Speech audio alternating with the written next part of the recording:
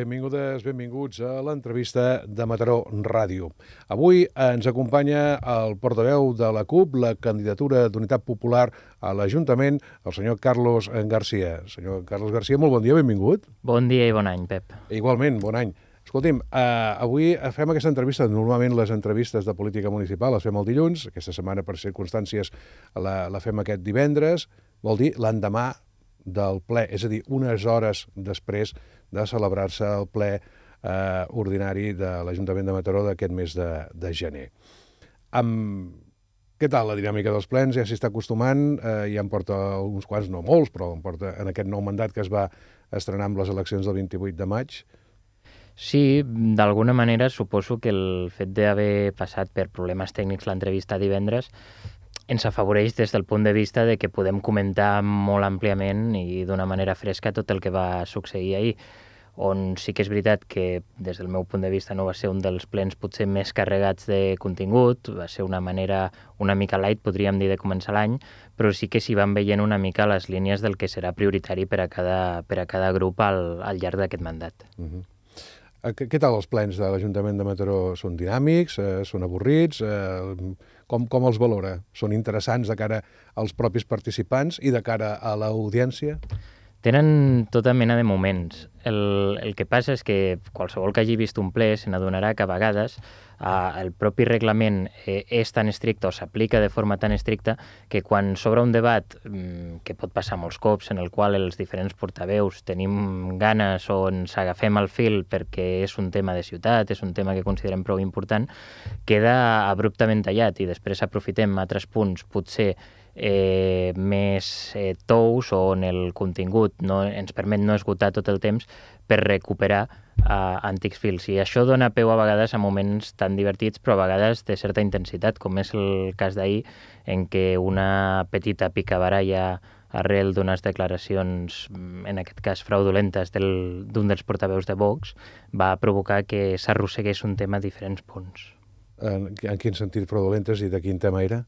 Uh, vam parlar eh, o vam haver de votar la urgència d'un dels punts que es presentaven al ple sobre una sessió de competències per tractar un, un cas disciplinari uh, ocorregut a la policia local, el qual se'ns va informar, com és natural en aquests casos, que eh, se'ns donaria la informació detallada a la respectiva comissió quan s'aixequés el secret de sumari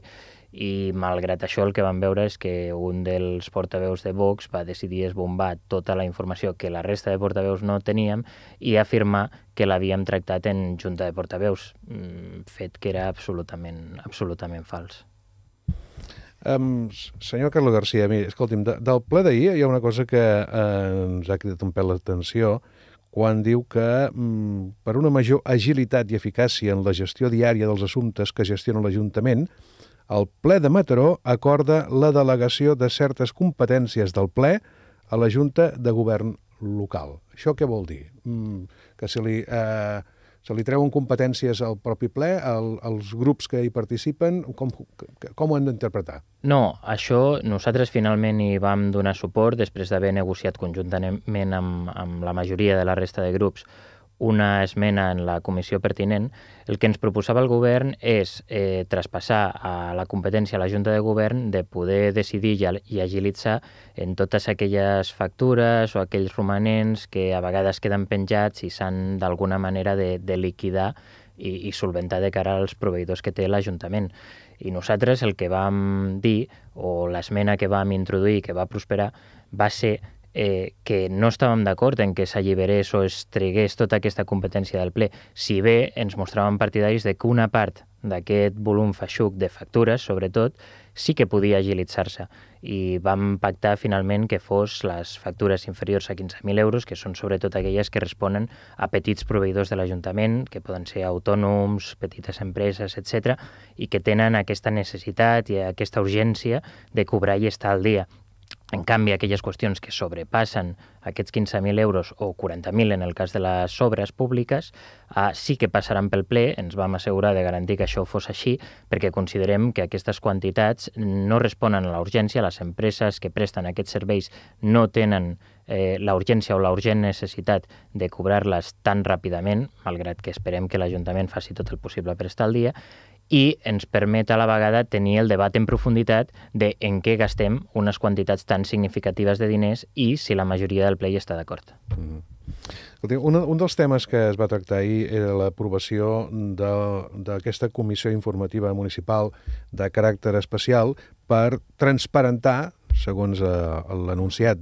que el propi eh, Ajuntament publicava ahir, per transparentar la política de recursos humans en els processos de selecció i provisió de llocs de treball eh, i que hi hauria ja representants de tots els grups municipals. Sí, un cop vam rebre la notícia, eh, segurament com tothom a través de la premsa, de que hi havia aquesta investigació per possibles contractacions fraudulentes a l'Ajuntament de Mataró, des de la CUP el primer que vam fer el mateix dia que va sortir la notícia és demanar eh, que es donessin les explicacions pertinents i que es convoqués si era necessari una junta de portaveus extraordinària. El govern, evidentment, veient que a més aquest era un prec que feia no només la CUP, sinó la resta de partits, s'hi va venir molt ràpidament i això ho reconeixem i en aquest sentit donem les gràcies a la, a la velocitat amb la que s'ha respost a aquesta situació.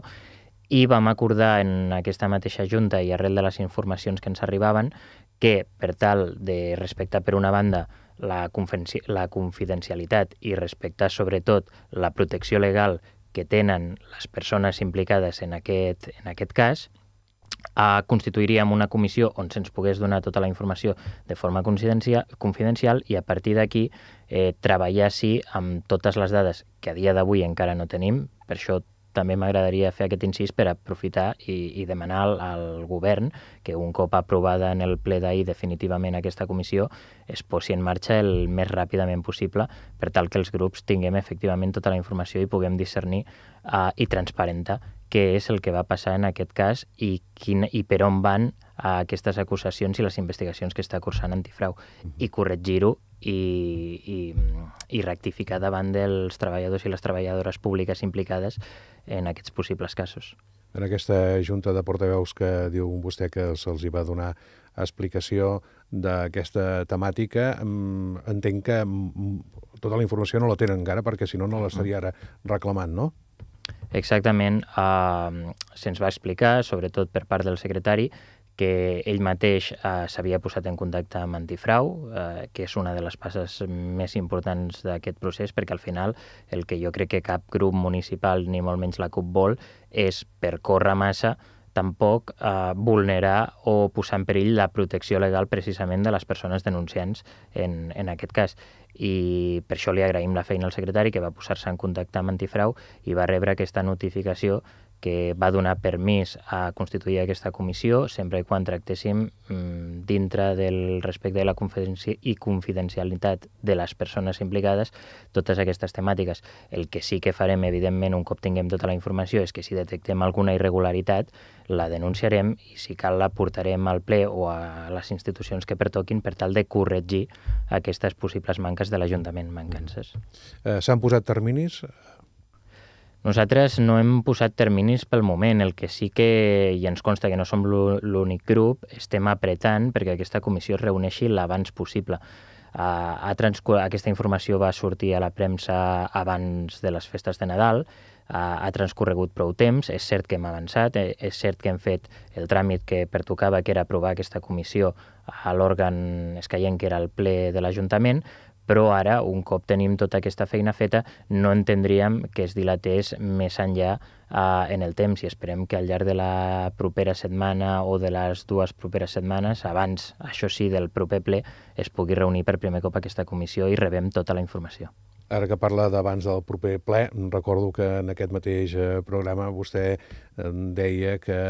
arran del tema de Calamadrona, ara canviem de temàtica, anem a, a on s'ha de construir el parc de l'economia circular i que s'hi han fet aquestes prospeccions arqueològiques que han donat eh, amb aquestes restes eh, que, que encara no està massa clar, perquè ara hi ha, hi ha restes de, de, de les, de, de, que es van trobar que s'han enviat a Miami per, uh -huh. per descobrir si realment són de l'època visigòtica o són eh, tardanes romanes. O, bé, la cosa encara no està del tot eh, definida. Però en tot cas vostè deia que mm, havien demanat, i, i tota l'oposició s'hi va sumar amb la proposta que feia la CUP, que es declarés eh, el jaciment de Cala Madrona bé, eh, cultural, bé d'interès lo local i que si eh, les passes no les feia el, el govern municipal, forçarien, si calia, un ple extraordinari i que demanaven que, no, que abans, en el següent ple, l'Ajuntament ja digués alguna cosa. Tot això, mm, com està? Sí, és un tema que ens, que ens preocupa i molt. De fet, el vam tractar al, al debat de política municipal que fem un cop al mes en aquesta casa i on el portaveu, en aquest cas del govern, el senyor Xescu Omar, va afirmar que ell no es veia obligat ni molt menys ni se sentia eh, interpel·lat a tirar endavant aquesta moció que va prosperar amb els vots de tota l'oposició mal, malgrat que el govern no hi estava d'acord i és un, un tema que evidentment ens preocupa i molt, no només perquè insisteixo que la importància de Cala Madrona no és en si és visigòtica uh, o no, sinó que és en què és un patrimoni que trobem a Mataró, és un jaciment tardoantic, un jaciment dels quals, per cert, n'hi ha molts, po molt pocs de la importància de Cala Madrona a Catalunya, que mereix un estudi en profunditat i que aquest no es podrà dur a terme o no es podrà fer en condicions òptimes si el jaciment es fragmenta i es desplaça sobretot tenint en compte que una part del solar que ocupa Cala Madrona eh, no té encara planificat eh, al damunt cap, eh, cap ús concret que n'hagi dut a l'excavació i a la prospecció arqueològica corresponent. Per tant, no sabem quina és la continuïtat d'aquest jaciment i no ens podem arriscar a trencar-la abans, eh, abans de, de conèixer totes les dades. Per tant, el que demanem és que es protegeixi aquest patrimoni i, insisteixo, el senyor Gomar no només deia o declarava que estava disposat a saltar-se eh, el que la majoria del ple havia ordenat, sinó que insistia o ens interpel·lava als portaveus de l'oposició a que li expliquéssim què és el que s'havia de protegir. Mm, jo crec que ho acabo d'explicar, però eh, un portaveu com ell, que a més havia estat regidor de Cultura, em penso que ha de tenir els coneixements necessaris i que hauria de saber precisament què és el que s'ha de protegir en aquest cas, que és el patrimoni mataroní. I insistim per enèsim cop que això no vol dir que descartem o que infravalorem la importància del parc de l'economia circular, sinó que el que volem és que, com s'ha fet en centenars d'altres casos arreu del món, es pugui fer o es pugui compatibilitzar la tasca d'aquest futur parc de l'economia circular amb el jaciment arqueològic que ha aparegut i que és un valor importantíssim per a la nostra ciutat. Vostè va dir que si el govern no actuava en afavorir que fos declarat mm, Cala Madrona bé cultural d'interès local, forçarien això, la celebració d'un ple, perquè es veu que es pot fer des de l'oposició, sempre que hi hagi un, un mínim de, de regidors que, que ho demanin. Eh, eh continuen pensant-ho, que això ho, ho, ho poden portar a terme? Han parlat amb la resta de l'oposició? Des de, des de la CUP continuem pensant que és una opció damunt de la taula. Uh, malauradament, és evident eh, que un sol regidor de la CUP no reuneix eh, la, su la suficient força o les signatures que es requereixen per forçar aquest ple. És per això que estem també en contacte amb la resta de l'oposició i sobretot amb la plataforma en defensa de Calamadrona que està dinamitzant una miqueta, sobretot totes aquestes accions legals que també s'han emprès a, a favor de la protecció del, pa, de, del patrimoni mataroní i esperem coordinar-nos també a través de la interpel·lació que ens fa aquesta plataforma, que ha convocat o em consta que està convocant una reunió la propera setmana amb diferents grups polítics per tal de veure si aquesta opció eh, tindria la força i la voluntat de tirar endavant no només per part de la CUP, sinó de la resta de l'oposició. Canviem deixem Cala Madrona, baixem pràcticament a l'Havana i a gairebé tocar de mar uh -huh. i anem a Can Fogaroles. Vostès també presentaven eh, una pregunta en el ple municipal d'ahir, aquesta nit, sobre aquesta temàtica, eh, què pensa fer l'Ajuntament en el cas de Can Fogaroles, i que mm, la coincidència ha fet que prengui més especial relleu perquè justament abans d'ahir eh, una comissió eh, judicial es presentava a Can Fogaroles amb la intenció de canviar fins i tot el pany per tal de procedir al desallotjament d'aquest de, espai. Finalment, doncs, eh, amb la pressió de,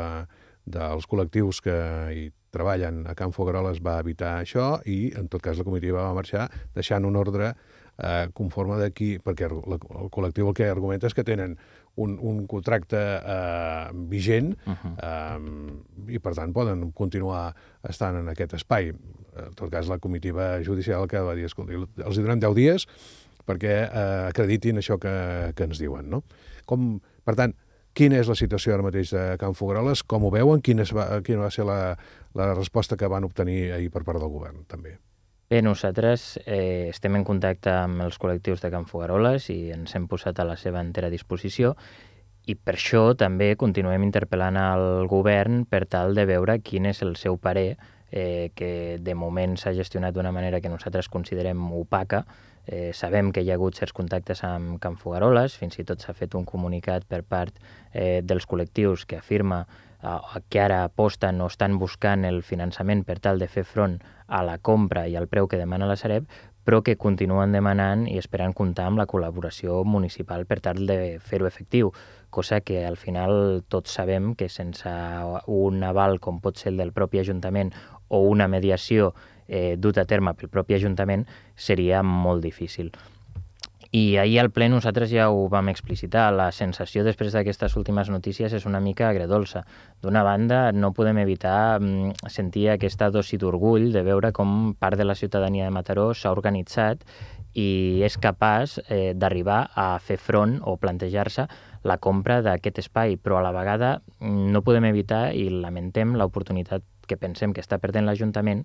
eh, de posar una mica en vereda la Sareb, que recordem es va finançar amb diners públics, i exigir i mediar per tal de que aquest espai passi a ser un actiu a, a titularitat municipal, que es faci una sessió gratuïta d'aquest espai per tal de que els diners públics que ja vam invertir en aquesta entitat repercuteixin de veritat en la ciutadania i poder guanyar un espai que al llarg eh, del temps es mantingui i formi part del parc municipal eh, de propietats públiques. Resposta per part de la, del govern? La resposta per part del govern va ser que continuaran treballant, com sempre ens han dit, però sense acabar de concretar en què eh, o en quina línia va aquest treball concret. Eh, vista, nosaltres tenim una aposta molt clara, que és la que continuem defensant, Eh, els col·lectius de Can Fugaroles estan optant per una nova aposta, segurament l'única alternativa eh, per la qual els hi han deixat espai, i esperem que el govern eh, no continuï obstaculitzant en aquest cas la compra, sinó que remi el màxim de favor possible. Vostès també van presentar ahir una proposta de resolució que mm, sobre, deia, per recuperar i ampliar els punts liles de les zones d'oci nocturn a la ciutat i millorar la coordinació en els casos d'agressió masclista, mm, que va ser aprovada, eh? proposta que va ser aprovada. Però, en tot cas, el que crida l'atenció és de, per recuperar i ampliar. Ampliar ho entenem, però recuperar què vol dir? Que es havien, eh, hi havia punts liles eh, en un moment donat que ja no hi eren, eh, que han desaparegut o que es posaven en certs moments de l'any en certs espais i ara no hi, eh, havien desaparegut? Sí, parlant amb, amb diferents col·lectius i amb diferents eh, persones implicades en la lluita feminista, una de les mancances que havíem detectat, sobretot en els espais d'oci nocturn, és que anteriorment, al 2019, hi havia hagut a la nostra ciutat punts liles que s'havien anat instal·lant o havien anat intermitentment apareguent a les zones de, on es desenvolupa majoritàriament aquest oci, al polígon i eh, arrel de la pandèmia, de la Covid-19, eh, van desaparèixer abruptament i no els hem recuperat a dia d'avui. La nostra proposta anava en dues línies. La primera és en la recuperació d'aquests espais per visualitzar i donar una atenció immediata o el màxim d'immediata possible als casos d'agressions masclistes que es donessin durant les nits del cap de setmana i a la vegada per facilitar i fer una crida a totes aquelles persones en situació de patiment d'aquesta violència que eh, poguessin confiar una mica més en el que està, en el que s'està fent des de les institucions i en el sistema i fessin o confiessin en fer la passa importantíssima de poder denunciar. Per això eh, hi ha una doble via i no només demanàvem que es recuperessin els punts liles, sinó que un altre dels focus importants era la multidisciplinaritat dels equips d'atenció, que ja es dona, però que volem que la resposta compti sempre no només amb un equip eh, policial el màxim de format possible, que és molt important, sinó també sobretot per aquells casos que tenen a veure amb persones que es veuen afectades per una llei que considerem profundament injusta, com és la llei d'estrangeria,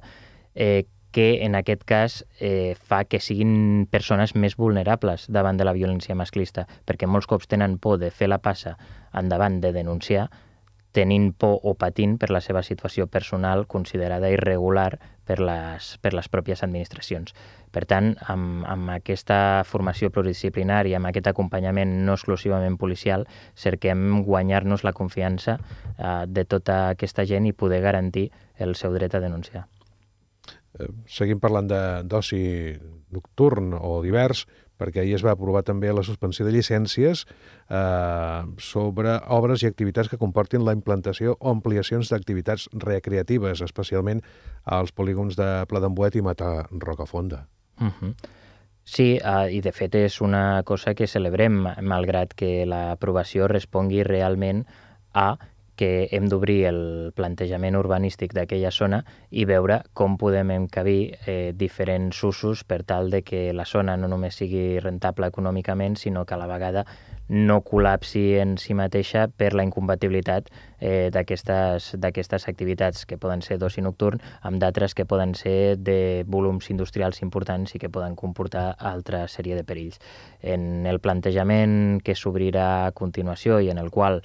tenim molt a dir sobre com volem que siguin els nostres polígons o l'extraradi de les nostres ciutats, esperem que les nostres aportacions es vegin escoltades i, sobretot, que d'alguna manera puguem diversificar i, i, i que sigui el, el crit o la veu d'alarma de que tot l'oci nocturn del jovent no pot passar exclusivament pel polígon i per propostes eh, basades en discoteques, perquè ens entenguem, sinó que hi ha d'haver una oferta cultural molt més treballada, eh, molt més diversificada, que respongui no només a les necessitats del jovent, sinó a les de totes les franges d'edats de la ciutat. Uh, això com, com, com es cuina? Com es cuina? Perquè, clar, uh, quan parlem de, del polígon del Pla d'Embuet, sabem quines activitats té, al matí, durant el dia, són activitats eh, industrials o comercials, i a, a la nit, sobretot al cap de setmana, sabem que és purament mm, d'oci nocturn, discoteques, eh, parts musicals... Um, no, no acabo d'entendre a, a què es refereix. Uh -huh. Es tractaria d'esponjar-ho, de, de, és a dir, que no només sigui a la zona del Pla d'Embuet on hi hagi l'oci i que hi hagi altres zones de la ciutat on també, eh, perquè quedin més a prop de, de la gent que hi viu o el que sigui, o també d'ampliar aquesta oferta eh, com en temes culturals, diu, que no siguin només purament... Eh, en quin sentit? Què vol dir? Uh, no, nosaltres considerem que, que sí, per una banda és important esponjar a aquest sector perquè no pot ser que el centralitzem i al final el que es correspongui és que s'està penalitzant a una zona concreta de Mataró, eh, no perquè aquesta concentració no sigui positiva per a la gent que hi va a gaudir, sinó perquè no ens oblidem que també és una zona colindant amb, molt, amb molts i molta, amb molts veïns i amb moltes veïnes que al final cada nit eh, reben les conseqüències eh, d'aquesta festa mm, eh, habituals, des de la brutícia, el soroll... Per tant, no només volem esponjar, sinó que volem diversificar, no volem que tot l'oci acabi passant o s'acabi considerant exclusivament per sortir de festa i sortir, en aquest cas, eh, a, a veure majoritàriament, sinó que el que volem és que hi hagi una oferta cultural a l'alçada. Parlem, per exemple, de que el teatre monumental trobi, o trobem entre tots els grups polítics, la manera d'obrir-lo no només eh, ampliant-ne la programació i equiparant-la a la d'altres ciutats que tenen funció cada setmana i no només eh, una, una vegada al mes, sinó ampliant-la a totes les zones de la ciutat. Som una ciutat de pràcticament 130.000 habitants on eh, hi ha hagut diferents eh, iniciatives culturals als barris al llarg de la seva història que hem vist com anaven desapareixent eh, fins a arribar al punt de que al centre fins i tot hem vist com el cinema del foment acabava tancant i esperem que mitjançant, si cal, la implicació de l'Ajuntament pugui reobrir aviat. Parlem també del cinema a Cerdanyola, de les activitats de teatre que s'han fet històricament a Rocafonda, i el que volem és continuar esponjant també tota aquesta activitat cultural i obrir o col·laborar amb diferents espais, com s'havia fet anteriorment amb l'Institut Miquel Viada per tal d'oferir funcions teatrals a la seva sala d'actes, etc, de forma que l'oci no només s'espongi i es descentralitzi, sinó que a més no consti o es concentri en les nits de festa del cap de setmana. Eh, escolti'm, senyor Carlos García, ens queda res, un minut. Eh, hi ha una, un prec que presentaven vostès eh, en aquest ple municipal que ens ha cridat l'atenció, que és el que... Eh, prec que presenta el grup municipal de la CUP per consensuar l'ajuda que presta el consistori als tres reis eh, d'Orient en cas de pluja, cosa que hem viscut en la cavalcada d'aquest any. Eh? Sí, um, com, com expressàvem, segurament els, els reis de l'Orient eh, han de concentrar tota la seva màgia en repartir els regals i les joguines a tots els nens i les nenes de la nostra ciutat i de la resta de ciutats de Catalunya. Per tant, eh, el que ens estem plantejant aquí és què podem fer nosaltres per facilitar aquesta feina i que abans de, de dedicar-se plenament a la tasca que tots tenim ganes que facin, puguin saludar a la ciutadania de Mataró. I d'aquesta manera el que instava més a l'Ajuntament i al govern a consensuar, no sé si en forma d'instal·lar unes carpes o adaptar les carrosses perquè no hi hagi mm, risc anys en endavant de poder o d'haver de cancel·lar la cavalcada pel simple fet de que plogui i d'aquesta manera facilitar que tots els tres reis de l'Orient puguin arribar a saludar els nens i les nenes de Mataró a tots els seus barris. Doncs queda dit. Uh, per cert, es va aprovar? Es va aprovar. Molt bé. Senyor Carlos García, portaveu de la CUP a l'Ajuntament de Mataró, moltes gràcies per venir, com sempre, a l'entrevista de Mataró Ràdio. A vosaltres. I ho deixem aquí. Eh, ens retrobem dilluns. Eh, fins llavors, eh, molt bon cap de setmana. Adéu-siau, molt bon dia.